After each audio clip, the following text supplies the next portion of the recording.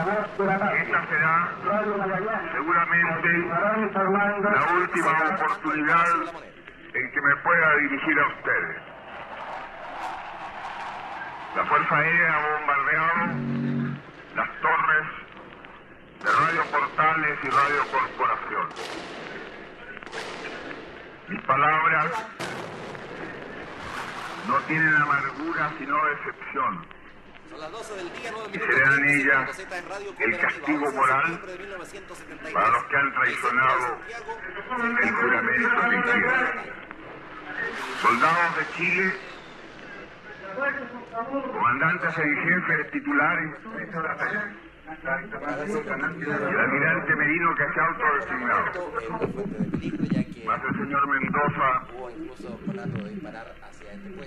general rastrero, que solo ayer manifestara su fidelidad y lealtad al gobierno, también será nominado director general de Carabineros. Ante estos hechos, solo me cabe decirle a los trabajadores, yo no voy a renunciar. Colocado en un tránsito histórico, pagaré con mi vida la lealtad del pueblo. Y les digo que tengo la certeza que la semilla que entregáramos a la conciencia digna de miles y miles de chilenos no podrá ser cegada definitivamente. Tienen la fuerza, podrán avasallarlo, pero no se detienen los procesos sociales, ni con el crimen, ni con la fuerza.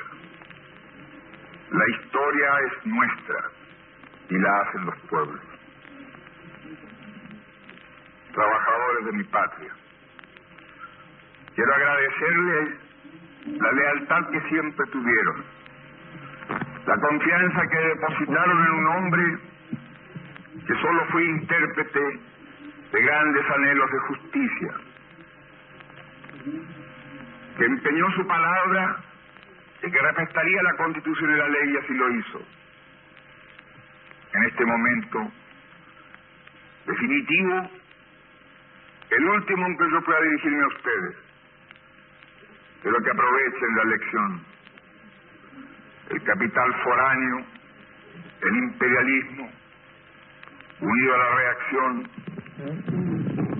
creó el clima para que las Fuerzas Armadas rompieran su tradición, la que le, la que enseñara Schneider y que reafirmara el comandante Araya. Víctima del mismo sector social que hoy estará en sus casas esperando con mano ajena reconquistar el poder para seguir defendiendo sus granjerías y sus privilegios. Me dirijo sobre todo a la modesta mujer de nuestra tierra, a la campesina que creyó en nosotros, a la obrera que trabajó más, a la madre que supo nuestra preocupación por los niños. Me dirijo a los profesionales de la patria, a los profesionales patriotas, a los que hace días estuvieron trabajando contra la sedición auspiciada por los colegios profesionales, colegios de clase para defender también las ventajas que la sociedad capitalista le dio Me dirijo a la juventud, aquellos que cantaron, entregaron su alegría y su espíritu de lucha. Me dirijo al hombre de Chile, al obrero, al campesino, al intelectual, aquellos que serán perseguidos, porque en nuestro país el fascismo ya estuvo hace muchas horas presente, en los atentados terroristas, volando los puentes, cortando la línea férrea, destruyendo los oleoductos y los gasoductos, frente al silencio de los que tenían la obligación de proteger.